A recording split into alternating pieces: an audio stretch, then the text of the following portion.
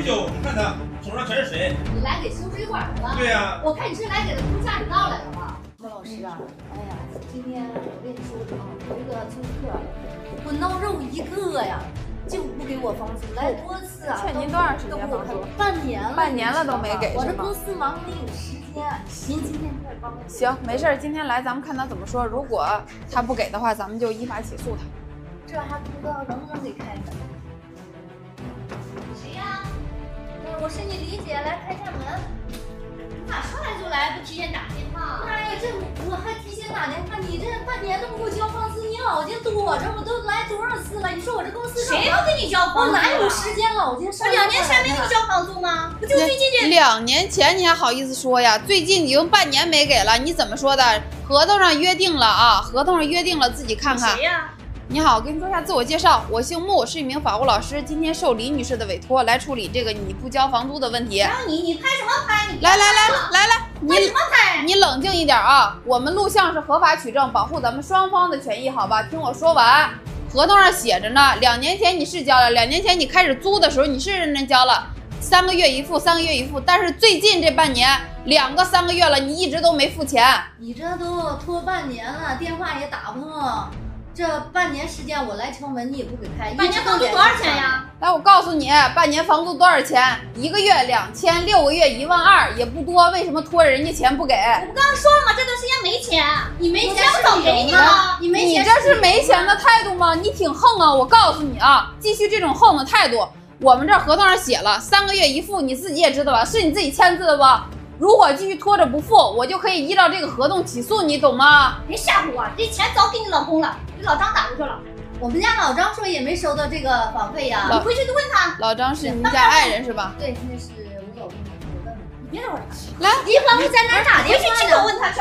来，我跟你说，既然你说了给人家爱人了，那必须得当面打电话说清楚，这叫当面对质，知道吗？我们家老张手机咋在这儿响呢？你别动他手机，是我老公的手机。什么你老公啊？是什么老老张，你他妈给我出来！操你个妈的哈！你让我找着你的啊！哎，你在这儿干啥呢？你在这儿干啥呢？你不是做美容吗？你跑这儿来干嘛了？你说我来收房费来了，你在这儿干啥呢？漏水了，我修一修。你看他手上全是水。你来给修水管的了？对呀、我看你是来给他通下水道来了吧？从是来，你给就我来，你看看你跟手上他啥关系上水，来，你告诉我，你跟他啥关系？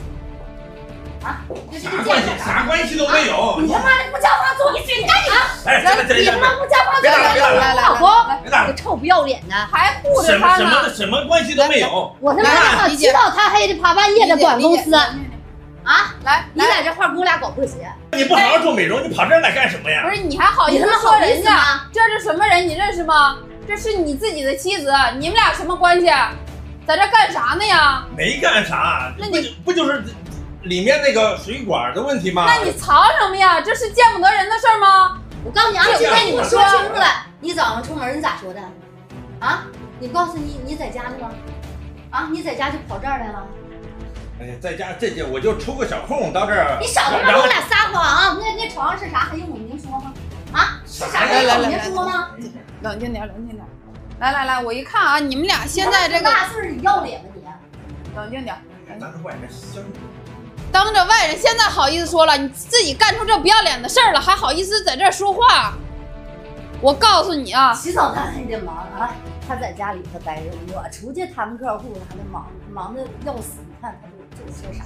没事儿，建议，就你这种行为啊，放着家里边啊，这事业有成又长得漂亮的媳妇不要，找这么一个，他有啥呀？你图啥呀？你问问他在家里面怎么对我的，天天吆五喝六的别生气啊，怎么着对？那狗都比对我好。说你不应该吗？就你能干出这种事儿？刚才这男人生气了啊！哎呀，别生气了。行行行行，管不着这些男人，是你自己无能。你知道他有老婆吗？知道他有老婆还敢这么说？谁给你的权利让你这么横啊？一个见不得光的小三儿，你怎么这么不要脸呢？这他妈不你还在这横！我我告诉你啊，就你现在啊，我现在先不想跟你说话。现在我们讨论的是他欠了半年房租这事儿，给没给你？给没给你不知道啊？啥时候给了钱呢？就花了呗。你有什么权利？我告诉你啊，这个房子是人家李女士的，所拿的房租的钱属于夫妻双方共同财产，知道吗？我就看你这样，应该也没收。我告诉你，不用跟我这横，这钱是人家夫妻双方共同财产，懂吗？李女士有权每一分都给你要回来。还有你啊，不用跟我这混。告诉你，你跟他鬼混在一起，已经构成事实婚姻的，这叫重婚罪，懂吗？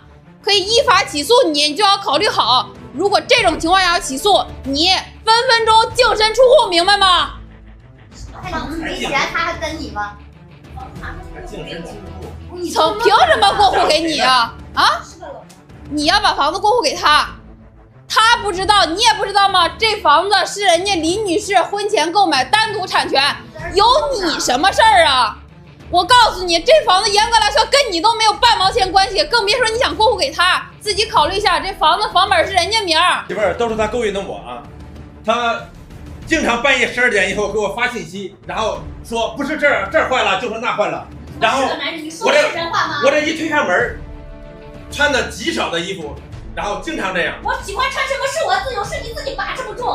我什么把持不住操你妈的！不是你承诺给我钱，我他妈能看上你啊？啊？对，媳妇儿，还有那十万块钱，十万块钱，然后就给他了，十万块钱。这干啥呢？怎么还有还有十万块钱的事儿是吗？？上次那个让给那啊你个小孩买车的，买车的来，你过来。他说啊，儿子买车要用十万块钱啊，我给你拿十万块钱。啊，你合着把你儿子买车的钱给他买车了是吗？你可真他妈不是人呐！你连你自己儿你都坑。来来啊，现在行收。现在啊，我不管你们俩什么事儿啊，就这种渣男，我都看你都不想看。但是现在啊，不光这房租的事儿了啊，房租一个月两千，六个月一万二，加上你从人家这拿的那十万，知道吧？你买车那十万也是属于人家夫妻双方共同财产，知道吗？李女士有钱，我肯定不跟你过。跟你要回来。现在啊，一分不少的给人还回来。要什么钱呀？我白白陪他玩啊！不用跟我这横，是你自己自作自受，活该，知道吗？谁让你妄图破坏别人的家庭来着？这个事儿不是人家一个人的错，知道吗？一个巴掌拍不响，懂吗？苍蝇还不叮无缝的蛋呢，是他自己把持不住，还威胁我还威胁你，你不会找找李女士吗？苍蝇不叮无缝的蛋，你是苍蝇吗？他是有缝的蛋，好意思给自己这么形容？我告诉你啊，现在这事儿你们俩都有错，但是他这个垃圾的事儿一会儿处理，现在处理你的事儿，懂吗？你欠人家钱，包括房租一万二，拿人家十万，这十万你是怎么给他的？是他要买车转买车是吗？借的是吗？有当时聊天记录吗？什么借的？有给我的，来来，给我买的，聊天记录是怎么说的？是借的吗？是借的，是给的？到底有没有？借借的是吗？聊天记录有是吗？转账记录有吗？